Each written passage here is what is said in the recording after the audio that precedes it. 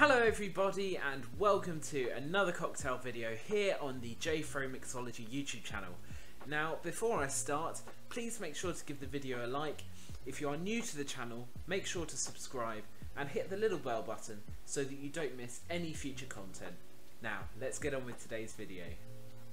Now for today's video you may have noticed I'm wearing slightly different clothing uh, than my usual white shirt.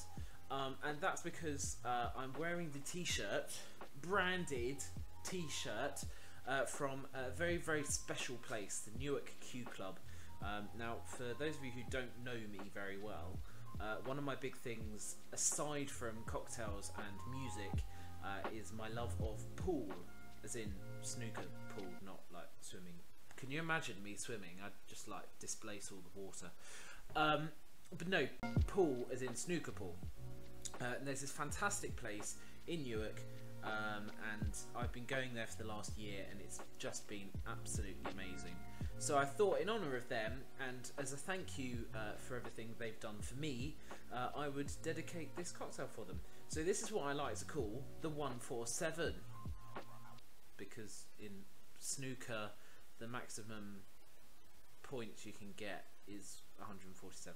That's that's the link. It's not just a random number.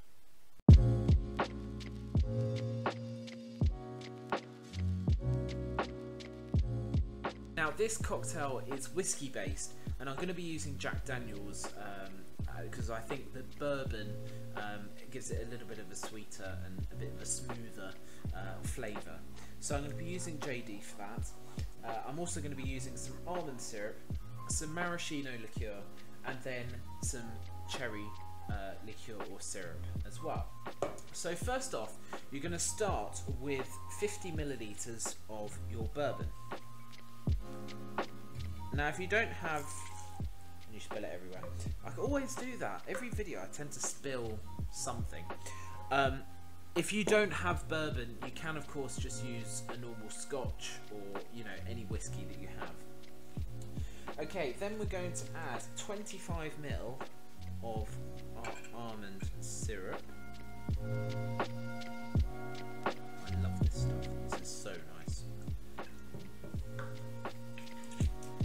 And then we're going to add 50 ml of maraschino liqueur.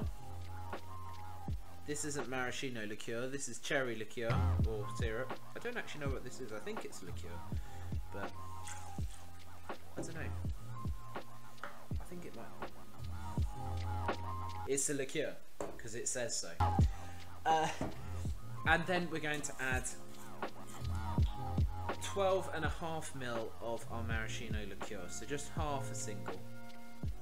That's in there. And once we've done that, we can grab our ice and shake. And once we've grabbed our ice, we can put our top on our shaker and shake for 12 to 15 seconds. Once we've done that, we can strain into our chilled cocktail glass with the strainer the right way around.